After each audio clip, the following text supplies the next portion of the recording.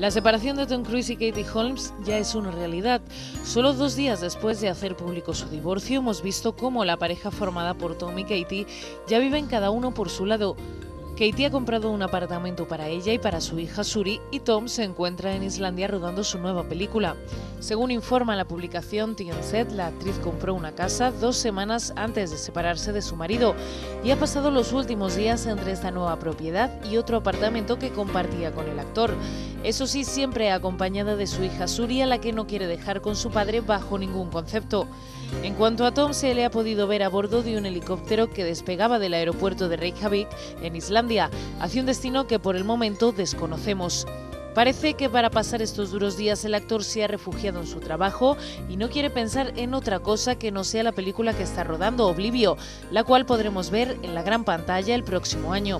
Tom y Katie anunciaron su separación el pasado viernes, aunque según señala la prensa estadounidense al completo, la decisión nació única y exclusivamente de Holmes, quien argumentó diferencias irreconciliables.